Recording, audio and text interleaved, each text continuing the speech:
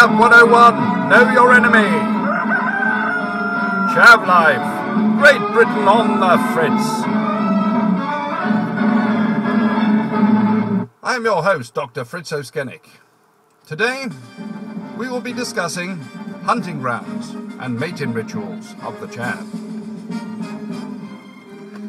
From Barry Island in Wales to Scarborough in Yorkshire, you'll find chavs in their hundreds swarming seaside tourist spots. Lots of shops selling cheap, tacky merchandise and t-shirts. Lots of chippies and penny arcade galore.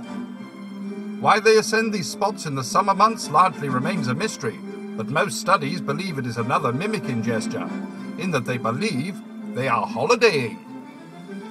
Further study is needed, but infiltration remains an enigma when dealing with loud, yobbish families who communicate in grunts. Easily spotted, they roam in packs, spreading chaos and bad dress sense wherever they go. And so, Gruntspeak becomes the county dialect. If caught in such a place during the summer months, please refrain from asking, Could you speak English, please? I don't speak Grunt. They become very annoyed.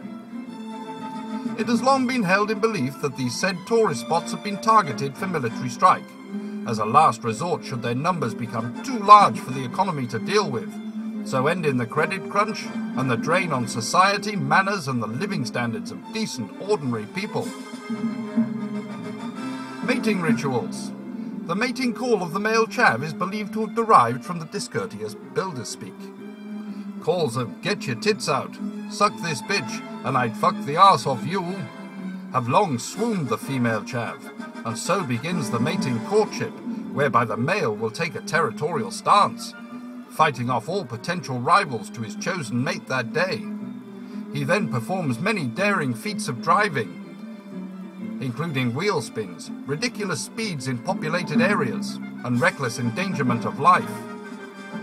With loud, booming bass and drum tribal music emanating from the car.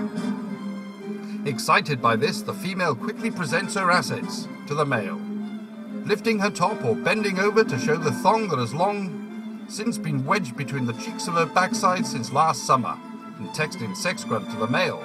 The female can breed with up to 40 males during any given summer, in the belief that the strongest male will dominate the essence of her offspring, quickly procreating Asbo, the next generation.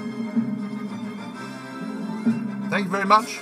I'm Fritz O'Skennick. We'll see you next time for part four. Goodbye.